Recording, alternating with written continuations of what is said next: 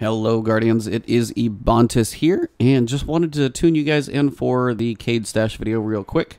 There's only a couple of them. It is February 20th, and it's on Mercury, so they're never that far away, but honestly, these two are about as close as it gets, especially from the landing zone.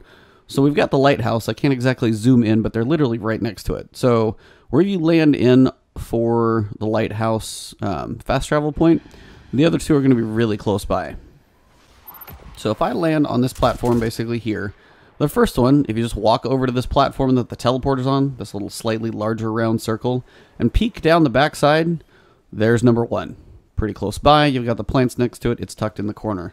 If you are standing on this platform here and you look basically due north on your map, you know, if you can tell my arrow is actually pointed basically straight up. If you walk forward and walk forward, again, it's going to be right down here. So that's the first one. Pretty easy to spot. I know you guys may not even need this video, but I still like to get them out for you guys. I had family and stuff in town last week, so just wasn't quite as busy. So back from the landing zone again. Here's the second platform. Here's basically where you log in. What you want to do is turn over here to your left. Now, what you're looking for is basically the edge of the, you know, Mercury platform that we can stand on. So keep following it down. You'll see basically, you know, the slightly larger platform here with this kind of like circular glyph on it. Keep dropping down a little bit more. Come to this edge. And following this glyph in the edge, you'll come right down here. And it's right underneath your feet. So that's the only two for the week. They're pretty easy to spot for you guys. I know this is a short video. But let me know your guys' thoughts on faction rallies. Are there any weapons that you guys are excited about? Are there any you've picked up that you're having fun with?